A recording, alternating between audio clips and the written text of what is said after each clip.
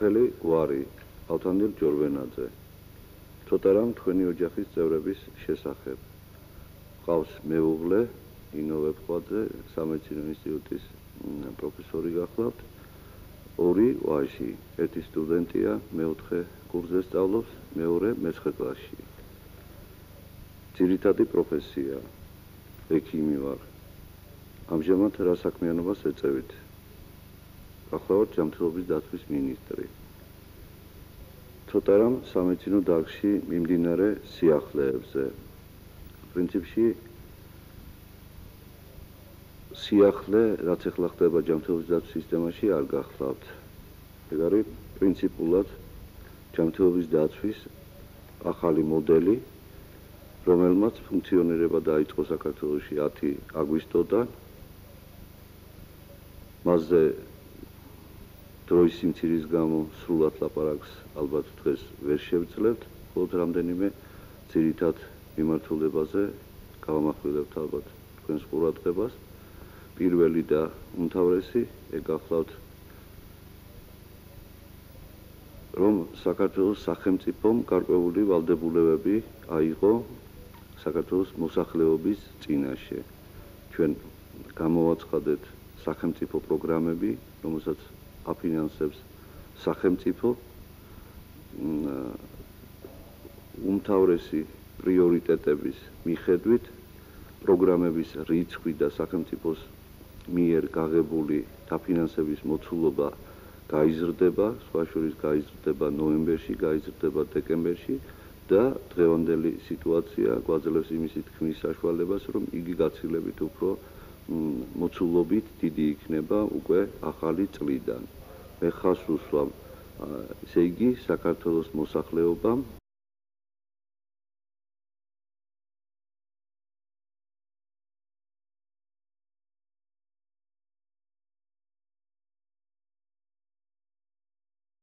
мотивация, რომ დარგში გაჩნდება ეკონომიური мотивация.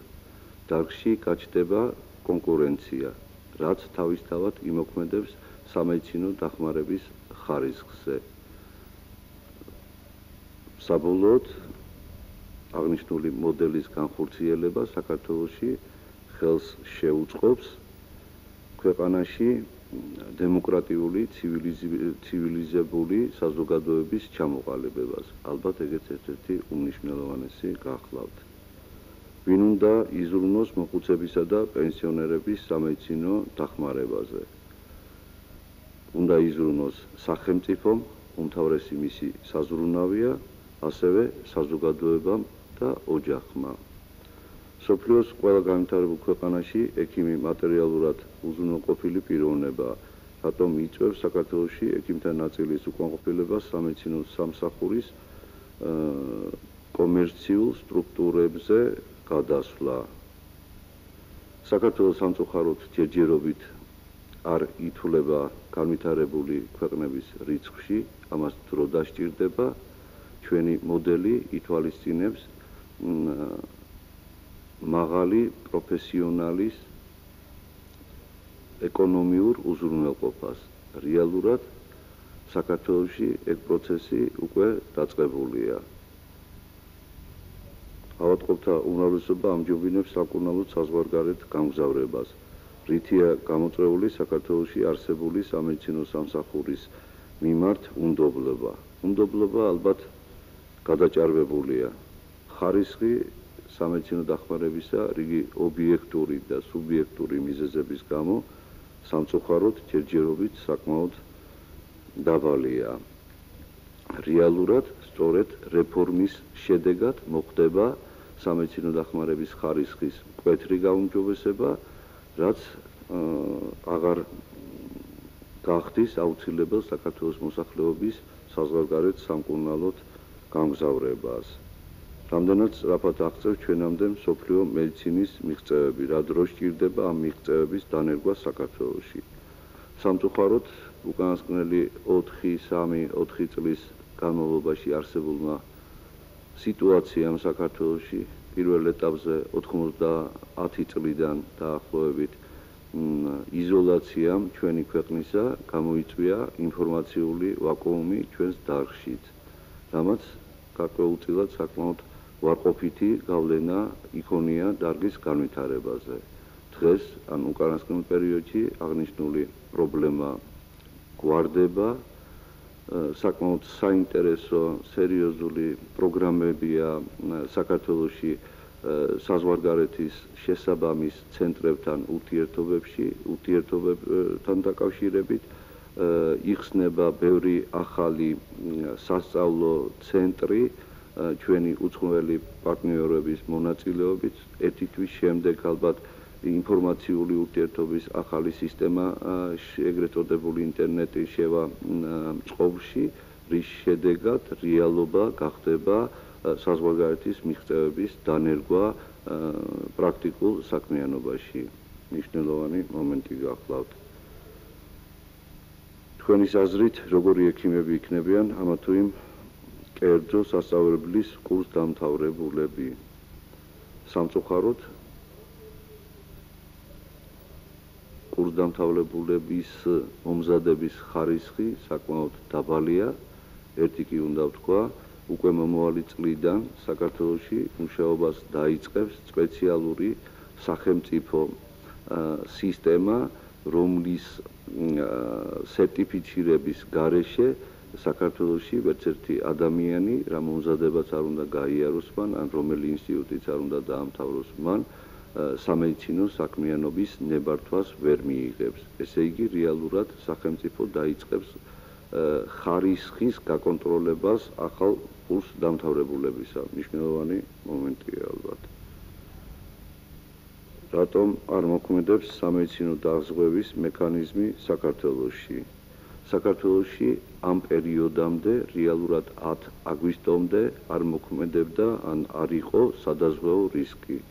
სადაზღვეო რისკის არ არსებობა გამოიწვია სწორედ სადაზღვეო სისტემის არარსებობა საქართველოში. დღეს რეალურად დაიწყო სამედიცინო ბაზრის ჩამოყალიბება, რაც რაც თავისთავად გულისხმობს აგრეთვე სახელმწიფო სავალდებულო სამედიცინო დაზღვევის სისტემის ჩამოყალიბებას და გარდა ამისა, უკვე რეალურად იწება კერძო სადაზღვეო სისტემების ჩამოყალიბება.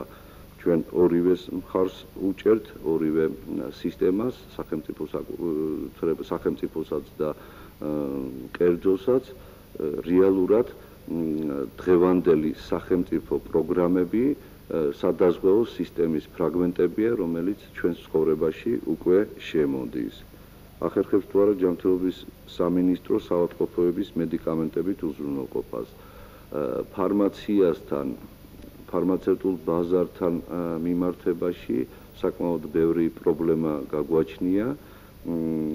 ამჟამად შემუშავებულია სპეციალური პროგრამა ფარმაციის განვითარებისა საქართველოში.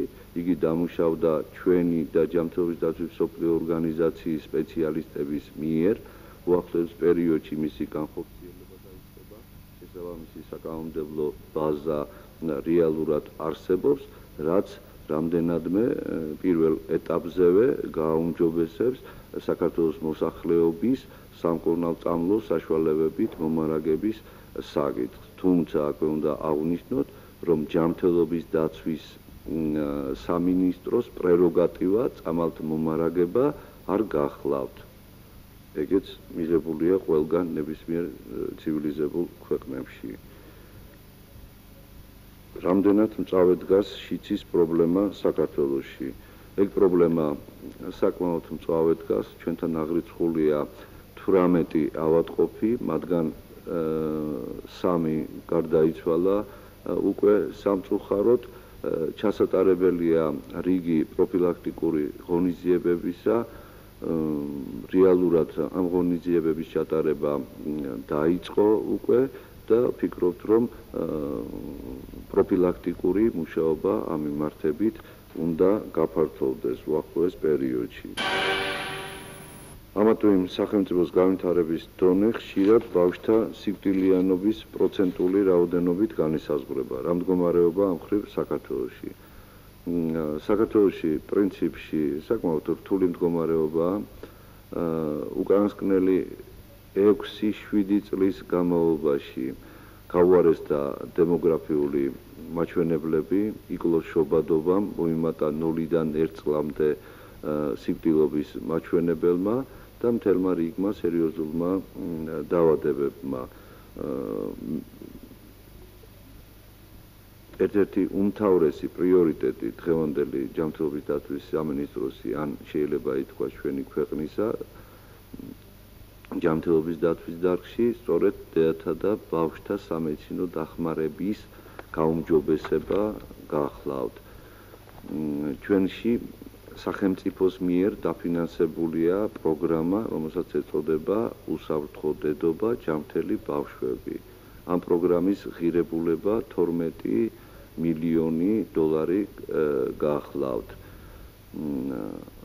რეალურად დღეს საქართველოში სახელმწიფოს მიერ გაახლავთ დაფინანსებული ორსული ქალების მეთვალყურეობა ან მათი მკურნალობა ორსულობის პროცესი მთლიანად როგორც პათოლოგიური ასევე ფიზიოლოგიური 0-დან 1 წლამდე ბავშვების სამედიცინო დახმარება, როგორც სტაციონარული, ასევე ამბულატორიული და 1-დან 15 წლამდე საკმაოდ დიდი მოცულობა სამედიცინო დახმარებისა. უმთავრესი მიზანი გახლავთ ამ მოცულობის კიდევ უფრო გაზრდა, ესე იგი სახელმწიფო დაფინანსების გაზრდა ამ შემთხვევაში. ჩვენ ვფიქრობთ და ვთვლით, რომ საქართველოს მომავლისთვის ზრუნვა ერთ-ერთი უმთავრესი მიზანია ჯანმრთელობის დაცვის სამინისტროსი, სახელმწიფოსი ჩვენი და ვფიქრობთ, რომ ამ უმთავრეს პრობლემას უახლოეს პერიოდში საკმაოდ სერიოზულად დაუცლებთ. აკონტროლებს თუ არა ჯანმრთელობის სამინისტრო საქართველოსი უცხოეთიდან შემოტანილი კვების პროდუქტების ხარისხს. რეალურად სამწუხაროდ ჩვენ და მხოლოდ ფრაგმენტულად ხდება შემოწმება არა მარტო უცხოეთიდან შემოტანილი პროდუქტებისა, არამედ საქართველოსში დამზადებული პროდუქტებისა. სისტემა ამ ხრივ ჯერჯერობით ქვეყანაში მოუწესრიგებელია, სპეციალური ორგანიზაცია შეიქმნა ჩვენთან სანიტარული ზედამხედველობის და ჰიგიენური ნორმირების დეპარტამენტი, ფიქრობთ ამ ორგანიზაციის ორგანიზაცია ახლა ჩამოყალიბების პროცესშია უახლოეს პერიოდში იგი დაიწყებს მუშაობას რაც კვების პროდუქტების ხარისხის გარანტიას მისცემს საბოლოო ჯამში ჩვენს მოსახლეობას. რასახის მუშაობა მიმდინარეობს ექიმთა კვალიფიკაციის დონის ასამაღლებლად. საკმაოდ სერიოზული მუშაობა მიმდინარეობს. თვითონ რეფორმა რომელიც დაიწყო ჩვენთან ვერ გუობს ან არ იგუებს არაპროფესიონალ ექიმებს. ერთ-ერთი უმთავრესი ძირითადი ნიშანი გახლავთ ამ ახალი მოდელისა სამედიცინო დახმარების ან ჯანმრთელობის დაცვის კვალიფიკაციის ამაღლებას პრინციპში ექიმებისაც სახელმწიფო უზრუნველყოფს ამ ეტაპზე რეალურად დეკემბრიდან საქართველოში შეიქმნება სპეციალური გადასამზადებელი ცენტრები, სადაც სხვა სხვა პროფესიის ექიმები გაივლიან შესაბამის მომზადებას. აღსანიშნავია აგრეთვე ზოგიერთი ცენტრი, რომელიც უკვე ფუნქციონირებს თბილისში, გახლავთ ქართულ-ამერიკული ცენტრი სასწრაფო გადაუდებელი დახმარების ექიმთა მოსამზადებლად. ეგ გახლავთ უწყვეტი სამედიცინო განათლების ცენტრი, რომელიც ერთი სოფლიო ბანკის პროექტით არის გათვალისწინებული, მეორე ჩვენი ამერიკელი პარტნიორებთან ერთად კეთდება და ასე შემდეგ რამდენიმე მიმართულებით პრინციპში ეგ პრობლემა შედარებით ადვილი გადასაწყვეტი იქნება ალბათ, თუმცა საკმაოდ სერიოზული და ხანგრძლივი მუშაობა დასჭირდება. ხარ თუ არა ოპტიმისტი? ოპტიმისტი ვარ. თქვენი აზრით რა თვისებები უნდა გააჩნდეს ხელმძღვანელ თანამდებობაზე ყოფ პიროვნებას. უნდა იყოს ალბათ რეალისტი, უნდა იყოს ოპტიმისტი და პასუხისმგებლობის გრძნობა უნდა კონდეს თავისი ხალხის წინაშე. მორალური პრინციპები, რომელსაც არ ღალატობთ. სიმართლე, ერთგულება, პატიოსნება. ამა თუ იმ გადაწყვეტილებ ხსპას უცბად ღებულობ თუ ხანგრძლივი ანალიზის შემდეგ გააჩნია რა შემთხვევაში? პრინციპში სიტუაციის მიხედვით. ხარ თუ არა მატერიალურად უზრუნველყოფილი. ისევე როგორც საქართველოს მოსახლეობის უმრავლესობა. ცოტა რამ თქვენი ხასიათის თავისებურებებზე. გრული ვარ ცოტა რამ თქვენი მეგობრების შესახებ. მეგობრობისა და ოთვინების დიდი უნარი გააჩნიათ ჩემს მეგობრებს. განსაზღვრეთ თუ არა თქვენი საქმიანობა თქვენს პიროვნებას. ჩემს პიროვნებას ჩემი საქმიანობა არ განსაზღვრავს. რა შემთხვევაში ამჯობინებთ იყოთ პრინციპული როდის მიდიხართ კომპრომისზე მე მგონი რეფორმებს პრინციპული ადამიანები იწყებენ. თუმცა გონევრული კომპრომისისთვის ყოველთვის ზადავარ. როგორ ატარებთ თავისუფალ დროს?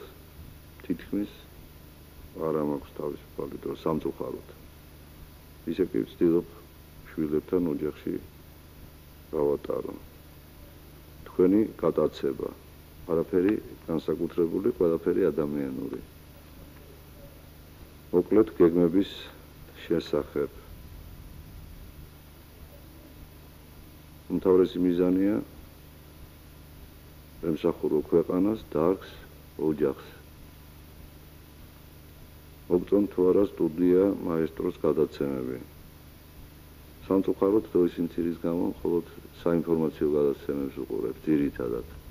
დღეიდან მეც აქტიური მაყურებელი გავხდები და შევეცდები ჩემი აზრი შემდეგ მოახსენოთ. ერთი წუთისათვის რომ მიმართოთ ყველას.